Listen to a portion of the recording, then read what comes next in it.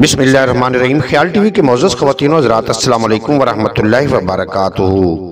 मैं हूँ आपका दोस्त मोहम्मद अली खिजर और आज की इस वीडियो में दुश्मन को दोस्त बनाने के लिए मुजर्रब वजीफ़ा आपकी खिदमत में पेश कर रहा हूँ, जिससे सदियों पुरानी दुश्मनियाँ दिनों में ख़त्म हो जाएँगी। हमारे यहाँ अभी तक ऐसे लोग मौजूद हैं जिनकी ख़ानदानी दुश्मनियाँ साल साल से बरकरार हैं और कई इंसानों की नाहक जाने इस दुश्मनी की भेंट चढ़ चुकी हैं।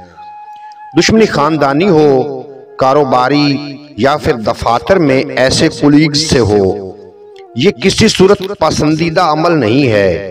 जो लोग चाहते हैं कि इनके दुश्मन इनके दोस्त बन जाएँ तो वो रोज़ाना सूरत मुजादला पढ़कर दुश्मन के घर की जानब फूक मार दिया करें।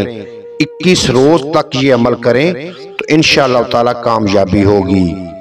बाज़ आमलीन सूरत मुजादला को पढ़ने के बाद मिट्टी लेकर इस पर फूंक मारकर दुश्मन के घर की जानब उड़ाने की भी हिदायत करते हैं। लेकिन आजकल पाक मिट्टी दस्तियाब नहीं होती, इसलिए ऐसा अमल करने से गुरेज करें। उम्मीद है आज की ये मुख्तर वीडियो आपको पसंद आएगी। अगर वीडियो पसंद आई हो तो चैनल को सब्सक्राइब फरमा के बेल नोटिफिकेशन को प्रेस करना, ताकि मुस्तबिल में अपलोड होने वाली तमाम वीडियो बर वक्त आप तक पहुँचती रहें।